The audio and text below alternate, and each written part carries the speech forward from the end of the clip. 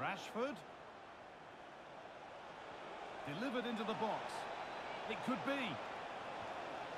And another goal. It seemed all over before, but there's another to...